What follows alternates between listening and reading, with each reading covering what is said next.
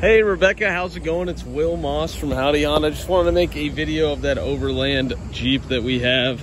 Uh, just seeing if it would be an option that you'd be interested in. It is super nice. It does have a lot of good features. It's got remote start. It also has the automatic lift gate as well. It is the Overland like you were saying that you were interested in.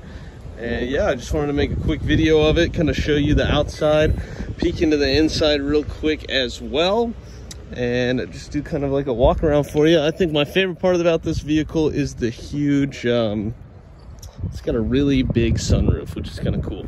So open it up. You can see it's like all the way past the back seat there. It does open up and work and everything. And here's the interior of it as well. So if you wanted to come check it out, I would be more than happy to help you out with that and hope everything is going well. Bye.